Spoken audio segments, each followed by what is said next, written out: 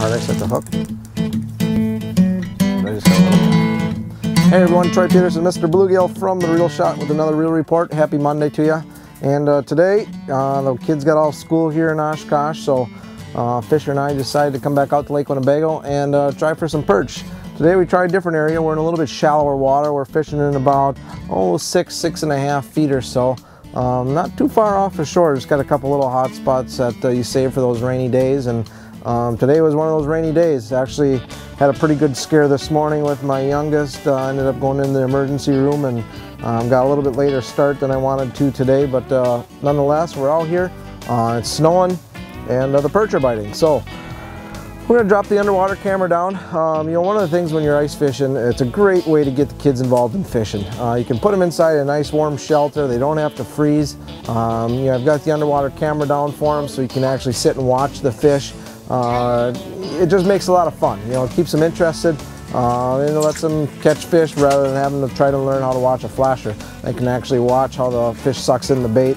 And, uh, you know, it teaches them, too, that when to set the hook, um, and you know how they react to uh, to their jigging motion. So uh, great way to get kids involved. Um, it's a lot of fun and uh, today we're going to try and have some of that. So stick with us here and uh, we'll show you what we're using, what we're doing and uh, show you some uh, little action under the water as these perch come in and act all piranha-like and chew up our baits. All right, now what we've been using for bait today is actually a variety of different things. Fisher's been actually using the uh, gill pill with a bunch of spikes on the hook. Hook real lightly right to the nose, gives a little bit of flutter. And then I've been using, uh, actually had just a copper plated uh, Haley jig on today and uh, been using the impulse stuff from Northland and got a lot of great scent, great movement, and those are actually the one inch tapeworms. And uh, you know, experimenting difference in colors. Um, there's all kinds of shapes, colors, different sizes. Uh, but the, uh, the bait's been a real good plastic all season long for all guys um, fishing panfish, but especially the perch. Uh, they really, really like the scent. Uh, as you've seen here in the video that, uh, you know, they come in, they hit it, if they miss it, um, they don't swim away, they usually want to get right back to it. So, um, you know, try some of these out, great baits.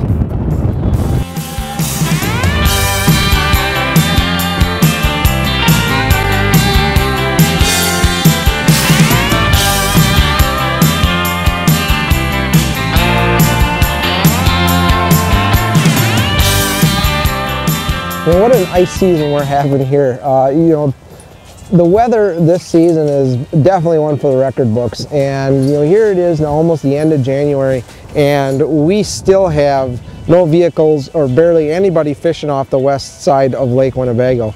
And uh, you know, we're getting out in some of the bays and getting out maybe a half a mile or so into the lake. But uh, as you can see, it's pretty dark out there and that's pretty much where that new crack formed um, just this last past week here on Thursday and uh, opened up, refroze, and then with the rain this morning, uh, really looks dangerous. Uh, you won't be catching me out there anytime soon. Um, I know some guys actually put their trucks in this morning uh, down on the southern part of the lake, just parking offshore. So, you know, it just goes to show that the ice is not safe. Um, here we go, we've got another cold front coming back in. Uh, the wind's just howling, picking up. Uh, we pretty much had to get out of the shack. It was starting to blow us around pretty good, but, you know, I want to thank my buddy uh, Fisher here for coming out. He did pretty good catching fish. Each time he comes out, he learns a little bit more, and you know that's what it's all about. Coming out, learning, having fun, and uh, catching a few fish to begin with. But it's Monday. We'll be back out on Thursday.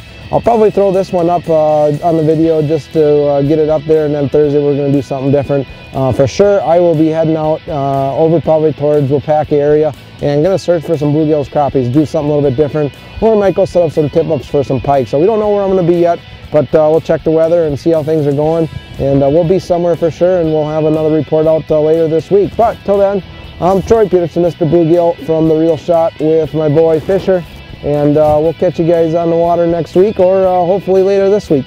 Good luck, stay safe, stay dry, and uh, I guess that's it. Yep. Yep. Alright. Time to go back in. It's rainy, it's cold.